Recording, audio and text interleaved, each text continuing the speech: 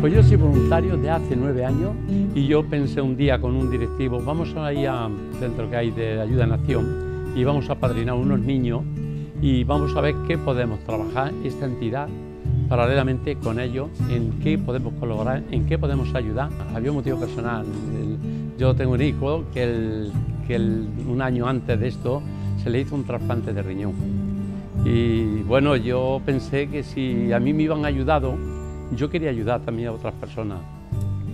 yo solitariamente no sabía dónde ayudar. Bueno, pues esta es la fotografía de los dos niños primero que padrinamos en, en Ayuda en Acción. Y yo la satisfacción más grande que tengo ha sido que los nueve años que llevo con ellos, venía ahora ayudando a nuestra propia casa, a nuestra gente. Bueno, el proyecto de acción social consiste en, una mirada más a nuestro trabajo con las escuelas. Actuamos en España por corresponsabilidad.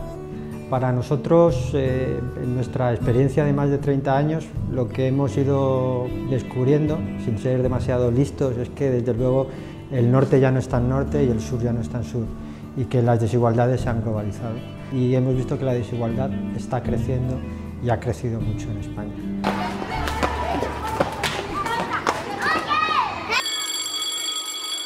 Por un lado, la situación de las familias ha empeorado y por otro, las ayudas de las administraciones han sido cada vez menores. Es sorprendente. Nosotros posiblemente yo no era consciente como director de la situación que estaban viviendo muchas de mis familias, porque son gente que ha intentado mantener a sus hijos fuera de lo que es la, dificultad económica. Si bien el colegio es un lugar idóneo para percibir, eh, para detectar estas situaciones que luego influirán en el alumno, tampoco podemos dar las respuestas desde nuestros propios recursos.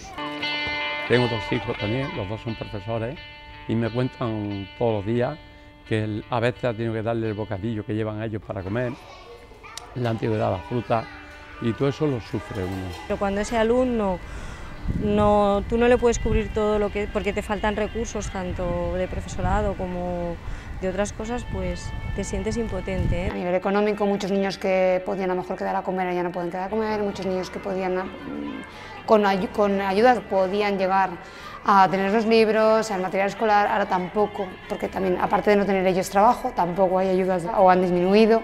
Con tanta supresión de ciertas cosas, estamos un poco preocupados, sobre todo preocupados ¿no? de lo que puede llegar a pasar. Si no fuera por, por este proyecto se quedarían en una situación muy complicada, con, de todo tipo, nutritivamente, a nivel de alimentación, a nivel de ayuda de libros, y pequeños detalles como son las excursiones. Eh, son actividades de integración. Hay excursiones que son eh, culturales, ¿sabes? Que, que, quiero mis hijos que cultan también a ver a España, saber España cómo es. Es un gasto considerable, difícil de afrontar si no tienes una economía medianamente estable.